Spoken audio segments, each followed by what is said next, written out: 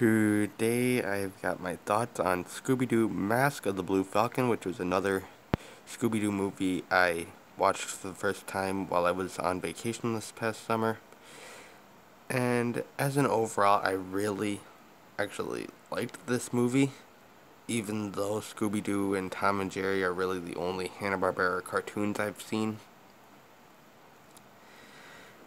And I thought that once I figured out what was going on in the movie, I actually really enjoyed this movie. I didn't really think that there was any bad parts to it. And but it wasn't perfect. But as an overall, I really really liked this movie.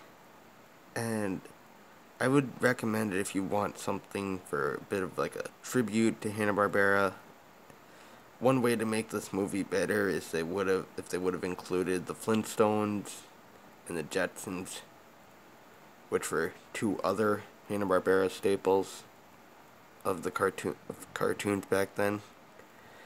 And so, as an overall, that's the only thing I would have really liked to see, but they didn't have in the movie.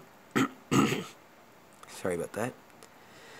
But as an overall, this is a really good movie, and if you want something old school like that or a tribute thing, if you like tributes like that to older cartoons, I would definitely recommend this movie.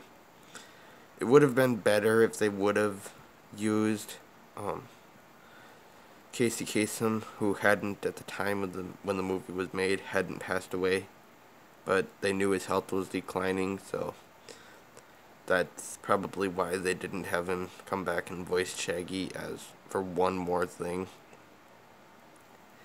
But as an overall, I think this was a good movie and one I would really recommend. So if you guys could just tell me your thoughts of this movie in the comment section below and just like and subscribe for more because I will do more in the future.